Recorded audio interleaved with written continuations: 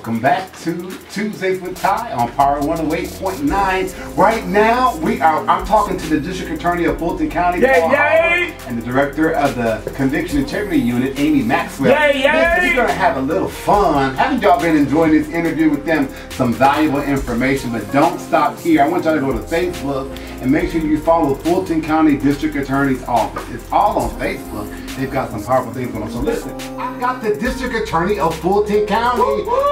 Welcome him to the station, Paul. And I've got Amy Maxwell, who is the director of the Conviction Integrity Unit. We're going to talk more to them about what's going on in Fulton County and the District Attorney's Office. Talk about where you're from and then your matriculation to undergrad and you get your uh, law degree. Well, I'm from uh, Burke County, Georgia, from a little town called Midville. So I was fortunate. Uh, I left Burke County. My mother uh, sent me to Bibb County, Macon, Georgia, I attended uh, high school for one year at Peter G. Appling, and I was lucky enough to get an early admission scholarship. Attended Morehouse College. When I started, I was just 15, but while I was there, I turned 16 Wow. graduated from Morehouse and uh, got a scholarship and attended Emory University Law School. And my first job was a job as a prosecutor. And uh, in 1988, Yeah. I, I decided that I wanted to I ran against a guy who had been in that office for 40 years. Uh, but you know, I thought I had a better idea. I really didn't know anything about running for office. As I always say to people, I worked so hard, but on election night, I lost the election. Uh, but what I learned is, is that sometimes when you're trying to do something that is progressive, you might not always succeed the first time. I tried again in 1980, in 1992. 92. Still didn't have any money, didn't know a lot about politics, but I ran and I was elected as Solicitor General of the State Court of Fulton County in 1992. So in 1997, I became the first African American district attorney in the 242-year history of the state.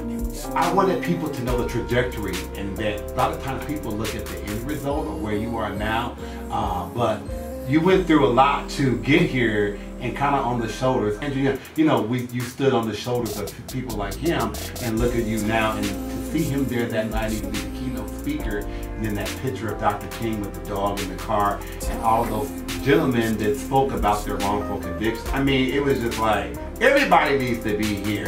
So thank you for that. Amy, how you doing? I'm great. You sitting over in the cup, but I'm coming down your road. Okay. Listen, you're the director, so you would be the first director of ever this type of unit being developed in the district attorney's office, correct? Correct. Why is there a need for this type of unit? Well, I think that there's always a need to look at your decisions, right? Okay. And and the decisions that prosecutors make um, are, are serious. And folks can spend the rest of their lives in prison based on those decisions. So I think it's really important to make sure that we've made the right decision. And what we're looking at is just first, did we make the right decision Okay. in prosecuting? And second, did we, is the sentence the correct sentence? Okay. So I think it's, it's, well, it's important, but it's also very courageous. We as citizens put our faith in the justice system, and then when it's marred, you know, we, we kind of feel like, now what do we do? So I'm very passionate about the unit. To see how the village wrapped around this program, you all were able to use Tyler Perry Studio. And then you had a student from Morehouse talk. You know, it was really good. Well, listen, uh, Mr. Howard, say hello to the family for me. Thank you all for being here. I think we have to. Amy, thank you. We also thank you all, the, the Conviction Integrity Unit, for the awesome job that, we're, that you're doing. Thank you for stopping by to bring awareness and information to this worthy cause of wrongful convictions and that we're not talking about it,